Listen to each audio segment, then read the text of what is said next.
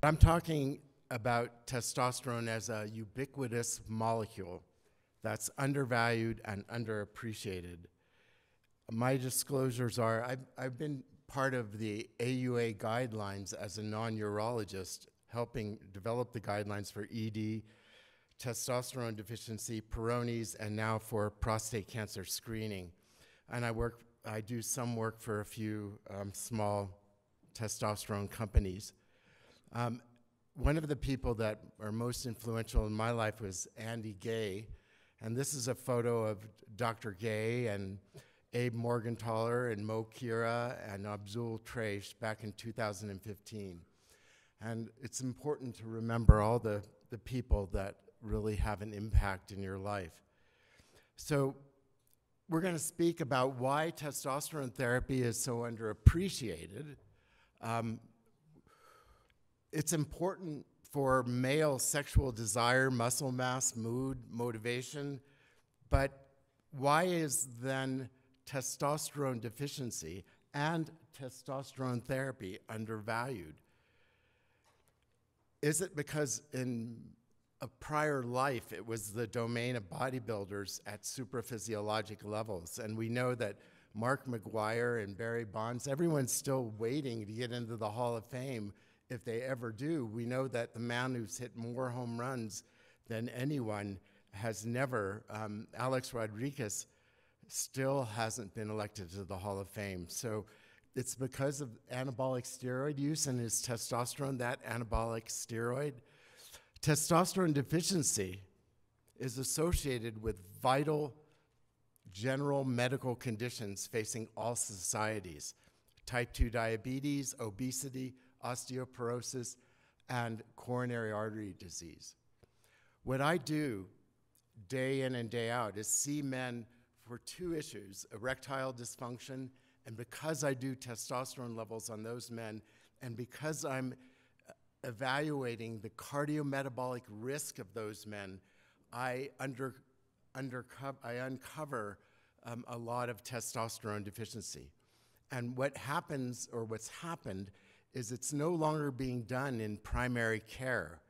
They're not repleting testosterone and they're not repleting testosterone because they're fearful after the FDA changed the labeling in 2015 to prevent the desire to prescribe testosterone for comorbid testosterone deficiency, meaning testosterone deficiency that's associated with obesity and high blood pressure and dyslipidemia. So, testosterone therapy has shown compelling health benefits, and most recently, testosterone levels have been associated with the most urgent medical issue that we've been facing in the last few years, and that's COVID 19.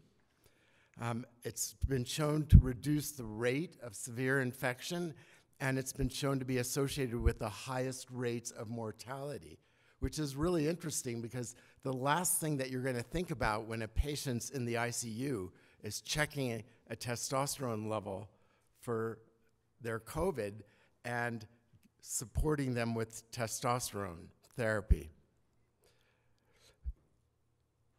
So the T trials came out in 2016, and it's the largest randomized trial to date. You know, testosterone doesn't have a lot of randomized trials. 790 men older than age 65 with unequivocally low levels of testosterone treated with one year, one year of placebo or 1% gel. The benefits were not simply sexual, meaning erections and libido, but in that one year, that short time, we saw an improvement of physical mobility, mood, energy, bone density, and strength. But most of these benefits were dismissed as minor and not clinically significant. Testosterone is a metabolic, sexual, and vascular hormone that serves an important metabolic function and plays a key role in human physiology and health. It improves the signs and symptoms of testosterone deficiency without serious AEs, and the T trials and the testosterone for diabetes mellitus provided evidence that testosterone therapy in older men improves sexual function, mood, ameliorates anemia of known and unknown causes. And it improves bone mineral density and bone strength, and it may indeed reduce fracture risk and fracture rate in men. And it's associated with a reduced risk of vascular and overall mortality. And low T is associated with an increased incidence of dementia and Alzheimer's disease. So, what are the facts and what are the levels of evidence? It improves sexual function modestly. It may improve mild to moderate depression. It improves bone mineral density, muscle, and reduces fat mass. It improves strength and exercise endurance. It may reduce cardiovascular mortality and all cause mortality. Within six months, we're going to see the results of the TRAVERSE study, which is five years of testosterone gel versus placebo in 3,000 men with low levels and at least one symptom. And with the type 4 diabetes mellitus study, we see the benefits of testosterone therapy in preventing type 2 diabetes, equivalent to metformin. So, this is a randomized, double blind, placebo controlled two year phase 3B trial involving um, six Australian tertiary centers enrolling men with low levels. These men had were not hypogonadal per US standards, their levels were below 400. And they all had visceral adiposity. And the aim was to determine whether testosterone therapy prevents progression to or reverses type 2 diabetes beyond the effects of standard lifestyle. So you had these men all had visceral adiposity. They were aged between 50 and 74. Their levels were below 400, and they were at risk or had type 2 diabetes. They were randomized to either a lifestyle plus testosterone undecanoate every 12 weeks, the long acting, or placebo and lifestyle. And what you saw was that testosterone therapy plus lifestyle significantly reduced the prevalence of type 2 diabetes versus lifestyle intervention alone. And it decreased the prevalence of type 2 diabetes by almost 41% versus placebo.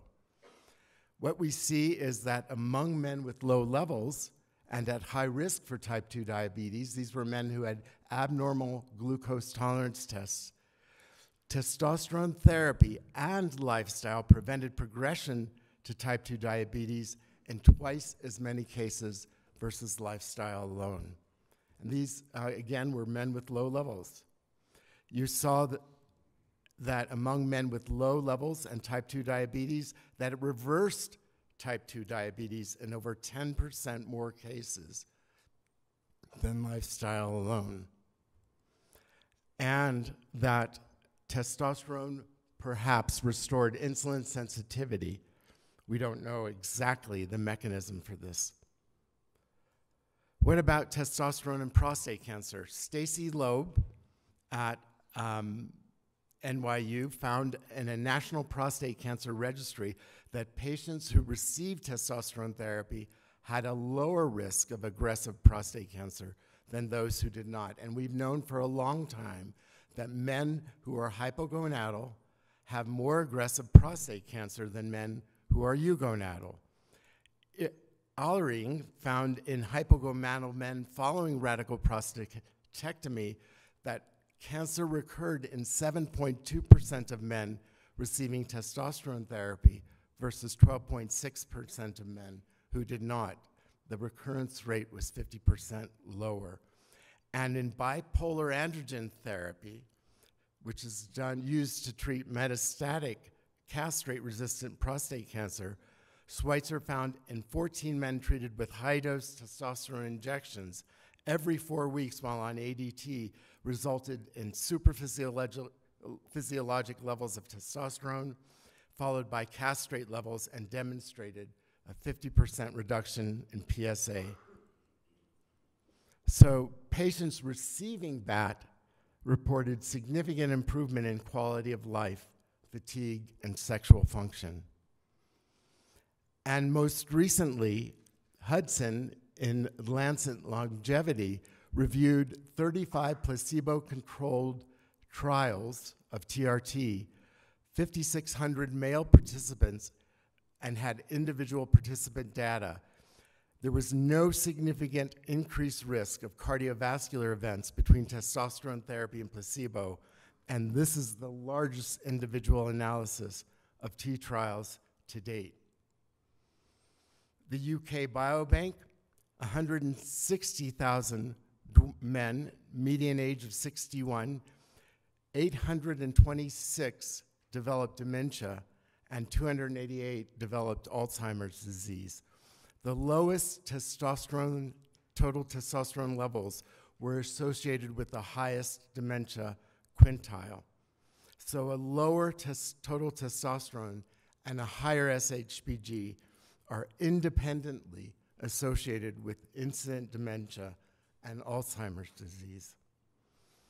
And is male hypogonadism a risk factor for hospitalization from COVID?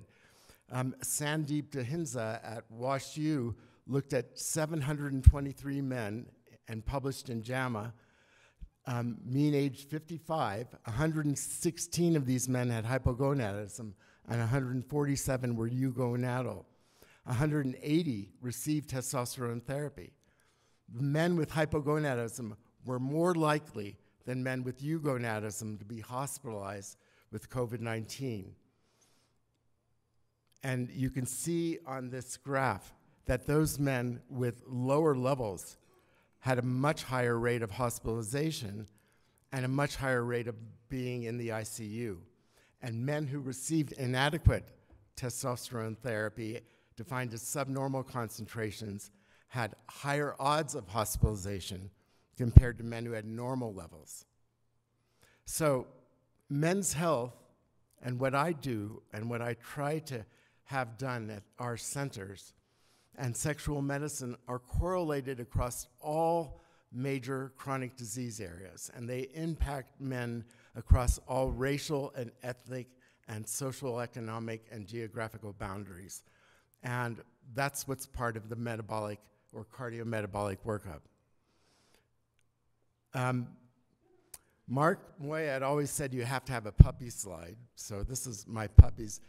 I wanted to talk briefly, two minutes, about erectile dysfunction because we're going to have a very important meeting in March um, known as the Princeton 4 Guidelines. This was a lifestyle study published by Dean Ornish and Robert Ostfeld and other cardiologists looking at erectile dysfunction. And the IIEF score increased on an average of four, which is the same level as oral PDE5 therapy in a very, very intense exercise program and lifestyle um, mitigation. The increase was likely mediated through weight loss and consuming a Mediterranean diet rich in plant based foods. The Princeton 4 that I mentioned is being led by R- R- Ray Rosen and Robert Kloner. And it's going to look at potential benefits of PDE5 inhibitors and the algorithmic use of these potential inhibitors. Are we going to have a polypill of statin and tadalafil for men to be taken on a daily basis with the addition potentially of um, losartan, an ARB inhibitor? So this was a study that came out this week by Bob Kloner and Ray Rosen, and they looked at the, um, were looking to determine the effect of PDE5s on MACE, major adverse cardiovascular events. They matched a multivariate analysis, and they showed that MACE was lower by 13% in 24,000 men exposed to PDE5 therapy versus non exposure and this was true for coronary revascularization, with an overall lower incidence of 25% of mortality. Here you see over the past five years, nine studies that also note a significant cardiovascular um, risk reduction in MACE and mortality. And it's up to 25%.